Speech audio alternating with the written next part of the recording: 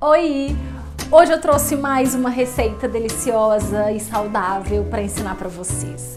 É um risoto, falso risoto, né? Porque ele não leva arroz arbóreo, mas ele é feito com quinoa. Então é uma opção funcional muito saudável e gostosa. Um risoto de quinoa com cogumelos. Vamos aprender?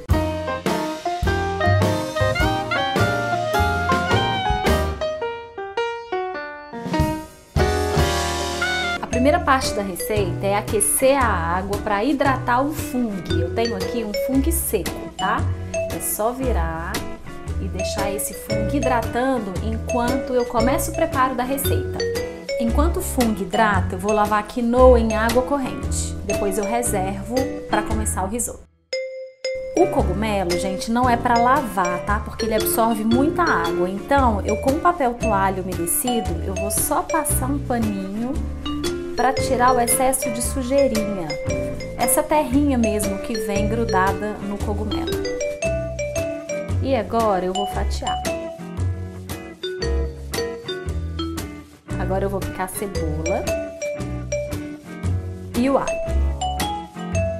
Minha panela tá quente e eu vou virar um fio de azeite e uma colher de sopa de manteiga. Na sequência, a cebola.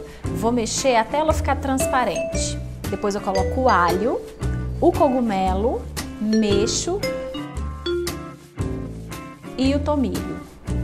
O cogumelo vai cozinhar até ficar bem macio.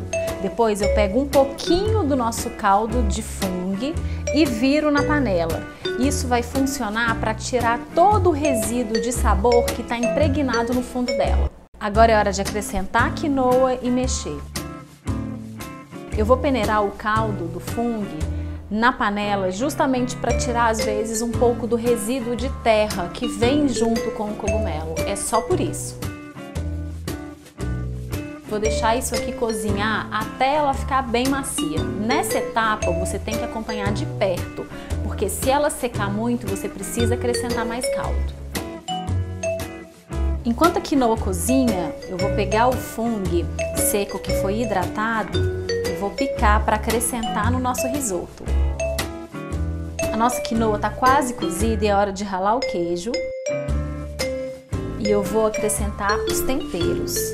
Sal, pimenta do reino e salsinha. Agora eu vou acrescentar a manteiga, por último o queijo ralado e mexo bastante. O ideal é que esse risoto fique cremoso, então como opção você pode acrescentar creme de leite para aumentar essa cremosidade. Caso contrário, deixe como está.